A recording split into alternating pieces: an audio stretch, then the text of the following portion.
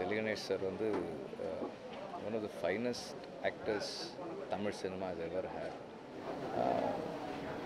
அவ்வளோ இயல்பாக எந்த அலட்டலும் இல்லாமல் எவ்வளோ பெரிய உணர்வாக இருந்தாலும் அவ்வளவு கன்வின்சிங்காக கடத்தக்கூடிய ஒரு நடிகர்.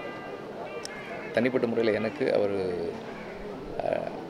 ஆர்டிஸ்ட்ன்றதை தாண்டி நான் அசிஸ்டன்ட் டைரக்டராக ஒர்க் பண்ண எல்லா ப்ராஜெக்ட்ஸ்லையுமே பாலமேந்திர சரோட நான் ஒர்க் பண்ண எல்லாத்துலேயுமே ஒர்க் பண்ணியிருக்காரு. நம்ம புதுசாக வேலைக்கு சேரும்போது நம்ம நமக்கு நிறைய விஷயங்கள் தெரியாது.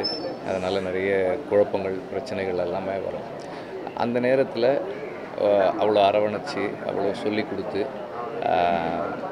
ரொம்ப ப்ரொடெக்டிவாக இருப்பார். அப்புறமா வந்து நான் அசிஸ்டன்ட் டைரக்டர் வந்து ஷார்ட் ஃபிலிம் பண்ணணும் அப்படின்னு போயிட்டு அடிக்கடி அந்த மாதிரி விஷயங்களுக்கு கேட்பேன். கேட்கும்போதெல்லாம் வந்து எதுவுமே சொல்ல மாட்டார். நான் வந்து பண்ணித்தரேன் அப்படின்பாரு அது நீ என்ன பண்ண போகிற எப்படி பண்ண போகிற அதெல்லாம் எதுவும் கேட்க மாட்டார். நீ பண்ணு நான் உனக்கு ஹெல்ப் பண்ணுறேன்னு சொல்லுவார்.